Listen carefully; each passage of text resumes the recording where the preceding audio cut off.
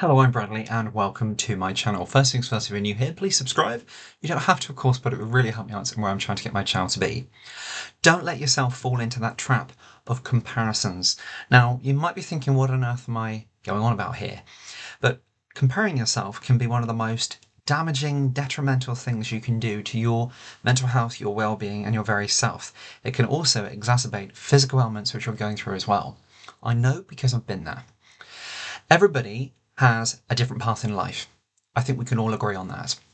But when it comes to where we kind of put ourselves on the shelf of success and if we've achieved a certain something or if we are at a certain stage in our life by a certain milestone, then it starts to get blurry for a lot of people. I hear this quite often, some of the people who I, from some of the people who I work with, and certainly from uh, brothers of mine. So it's an issue which I've come to live myself, and it's an issue I've heard about, I've helped people through, and here's today what I really want to talk to you about it, because it can be hugely detrimental, and it can just make you feel downright rotten, to be quite honest, and it can stop you from enjoying your life.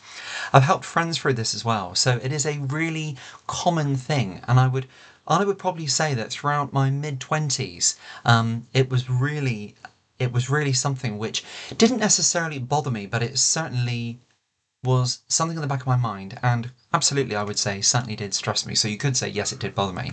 Now, let's be uh, let's break this down a little bit. So in comparison, so you might be thinking that, and this is absolutely different for everybody.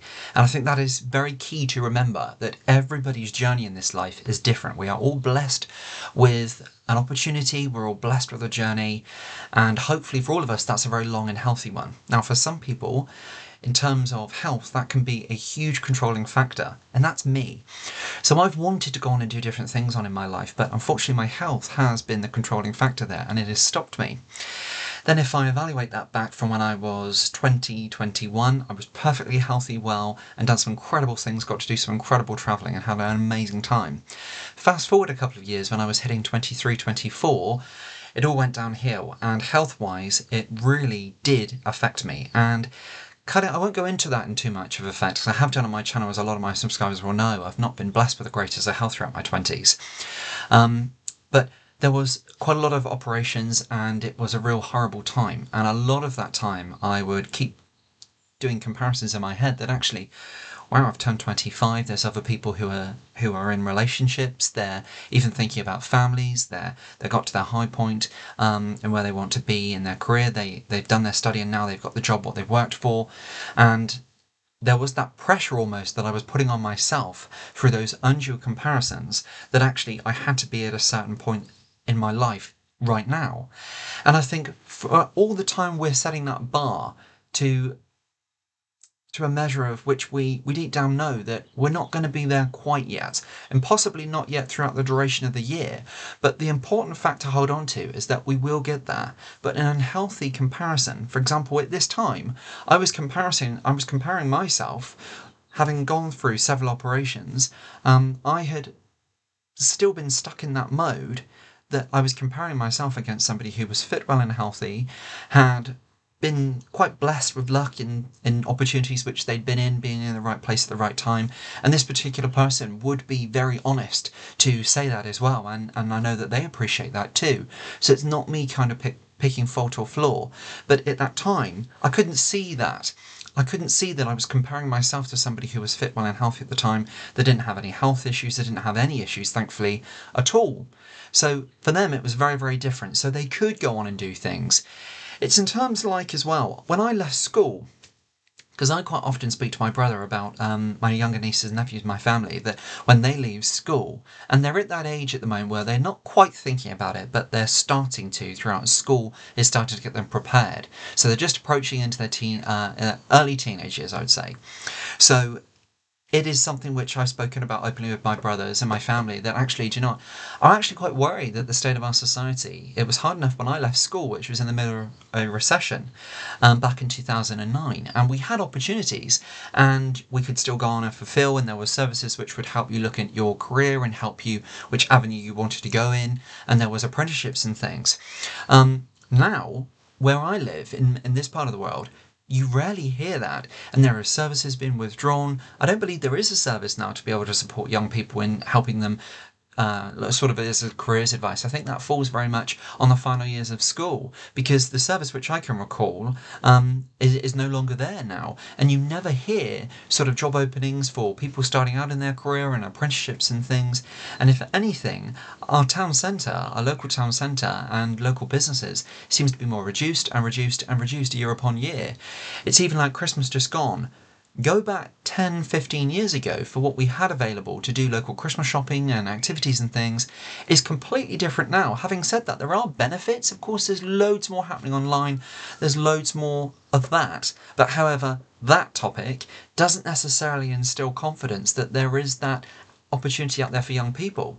So, in terms of comparison, when I left school, I can't now do a comparison that actually, do you know what, my nieces and nephews, when they, they leave school, they're going to have the same. So, I'd hate for them to compare what I've done to their life. So, as a, as that kind of reaching out that actually it's really bad for us to compare against somebody else's different situation or to compare people's lives to ours in terms of different health issues and ailments people have gone through. People have had different experiences. People have been uh, different parts of the country, even as a as a contributing factor as well, and society as a whole too. And actually, as I talk about me comparing and warning other people to just safeguard yourself from comparing yourself to other people's lives and comparisons in terms of striving and wanting to achieve something and wanting to be and gain that success. Actually, I worry about my niece and nephew with their comparisons. And you know, actually, even younger people, I would hate somebody to compare what I have done. I'll be very open and honest. The problems I've had, I've not let it stop me. But however, that was through the blessing of the help of my incredible parents, my dear mum and dad, who are absolutely best friends to me. They really did support me financially throughout my career and helping me get through the health problems, but as well as being able to help me continue studying from home, which of course very often is a much more of a higher cost. And of course that comes with the bearing of is it financially feasible for people to do that? So then again, I would hate somebody to make a comparison to my situation when I'm truly, truly grateful and thankful that I got that opportunity to do that. And I know a lot of people wouldn't have that opportunity. So, having discussed those three very different comparisons, you could say, I hope that really instills that actually comparing should not be something we should do because we should we should take note of people's success and we should be always respectful, but we should always try to concentrate on that we are individuals. And yes, even though we all get the same opportunity in life to write our book as we lead it there are influencing factors and of course yes we can we can install the confidence in young people and ourselves to go on and do and we can do absolutely anything we want in this world through hard work dedication and really kind of keep pushing yourself keep going and it's when you get those knockbacks, remembering that it's not how you fall down, it's how you get back up. And you really do keep going because it's not easy. Comparisons, just kind of moving this along now, are very detrimental to your mental health and well being. For example, for the years I would say from my mid 20s, when I, so probably a little bit earlier than that, when I was uh, becoming unwell with a few things. I had a number of operations and I still live with those effects now. It never ever stops me. Um, it, it spurs me on, but I'm also very realistic that my strength comes from the connections of my mum and dad, my dear Nan, and my faith.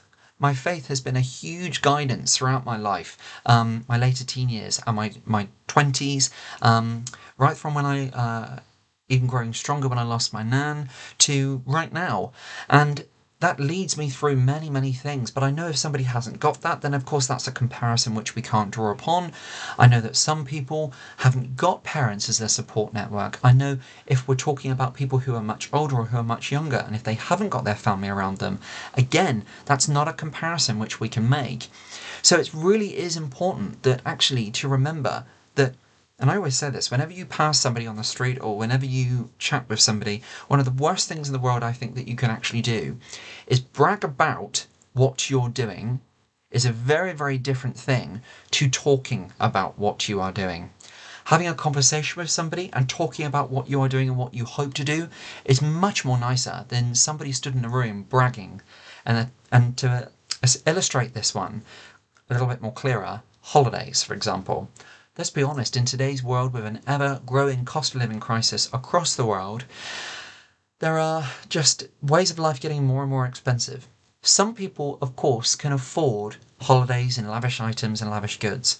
Some people can't.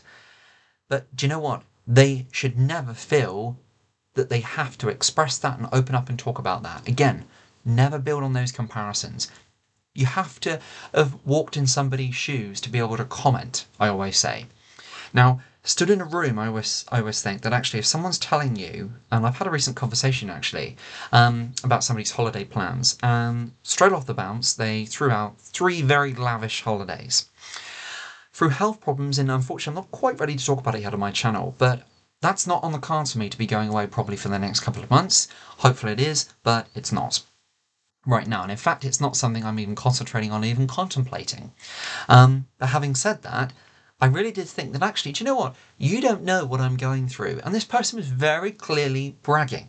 Um, and I thought, do you know what? You don't actually know in my circumstances that I might actually going be going through a financial crisis of my own. I may be going through which I am health issues in the background. I may not even want to, and I may not even want to open up in conversation to be able to share that with you for a whole host of all different reasons. But yet, this person who I had the conversation with, and I respect them, and they're a very, very uh, dear friend to me, but they can go and go and go in conversation. And sometimes I feel if other people were in the room with us, that would not be nice. Number one, I often don't think it's healthy. I have raised it to them before, but unfortunately, it's not really kind of we've not got through yet but if it carries on it will be something which i will be having to mention again. But it just installs to me that actually do you know what? Never kind of be in a situation and do you know what? If you're going through a great time and yeah you've been lucky or perhaps you worked really damn hard and there's incredible things happening for you fantastic well done but even still, sometimes just be a little bit careful about the people in the room because do you know what? In seconds, we draw a comparison. In seconds, somebody can be going through absolutely hell in their life and they can draw a comparison to somebody. But behind that smile, behind that slick back hair, or whatever, that smart suit, or that lady who is proud as punch talking about the summer holiday she's got going on in a few weeks' time, or in a few months' time rather, you don't know what they're going through, or you don't know what they've gone through to get there equally the same of nobody knows what you're going through right now. So comparisons can be dangerous, my friends. So never ever compare because they can be detrimental. They can be detrimental to your success. And at the end of the day, it really just does depend on what we want in life, how we can examine and how we kind of capture and what success means to us. Because for a lot of people, success will mean, for example, a certain amount of money in the bank, it will mean a small family, beautiful home, husband or wife, or success will mean a certain job title. So, how can you, in your situation, compare to what success is or if somebody looks successful, which is a completely different topic? We're going to be covering that on the channel soon, but never draw comparisons. And if you're down in the dumps and you're feeling down, or if you're unwell at the moment, you're going through something in life, God bless you, stay strong, you will get through this. Storms pass, my friend, but just never compare. You are amazing. You are one. There is only one of you in this world, so you will get through this, and your situation is unique to you.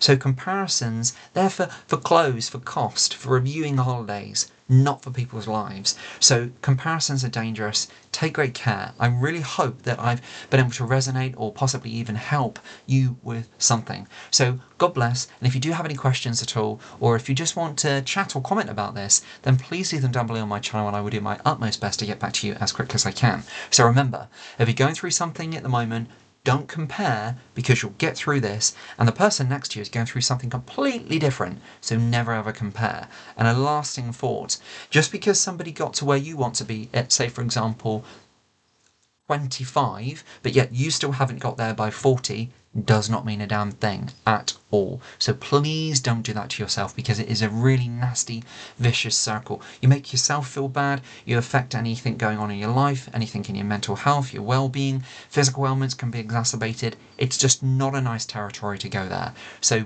please love yourself, take care of yourself, and throw comparisons out of your head. God bless until next time. I will be seeing you then. Bye for now.